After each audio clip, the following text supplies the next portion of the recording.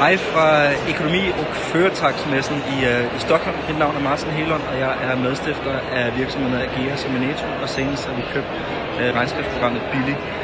Staten har bedt mig om at øh, lave en kort video, hvor jeg fortæller lidt om uh, nogle af de fordele, jeg ser ved at arbejde i et, uh, et scale-up. Og man kan sige, at jeg er måske en lille smule farvet og ensidigt, eftersom jeg aldrig rigtig har, har gjort andet. Men uh, vi prøver alligevel. Øhm, jeg mener, at øh, alle virksomheder er et scale-up, fordi vi nu har krydset øh, over 100 medarbejdere, agerer sig på seks markeder. Øh, det har vi gjort på en syv års tid eller noget af den tur. Så vi er ikke store corporate, men vi er heller ikke en starter mere. Den første årsag til, at jeg synes, at man skal øh, kigge på, på scale-up som, øh, som et godt sted at arbejde, er simpelthen fordi det er fuld af udfordringer. Der er ikke prædefinerede processer, man kan læne sig op af. Man er faktisk selv med til at bygge en masse ting. Uh, man sidder ikke og, og stemmer dagen lang. Uh, man er rent faktisk med til at bygge noget sten for sten. Man kan sige, ofte er fundamentet lagt. Man har måske fundet en forretningsmodel, der virker. Uh, men nu handler det altså, altså om at få, få det her vokset til, til nye højder. Uh, det gør også, at der er en masse læring i det.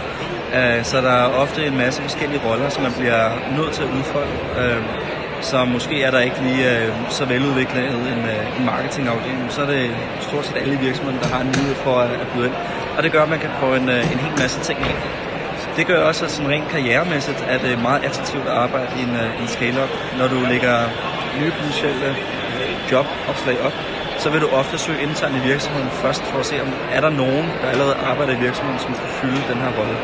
Øh, og det er der som regel, øh, og det er også en god måde, at man kan organisere på. Så i Agera så er vi for eksempel kundeservicefolk, der er øh, både fra kundeservice til marketing, eller fra kundeservice til øh, product management osv. osv.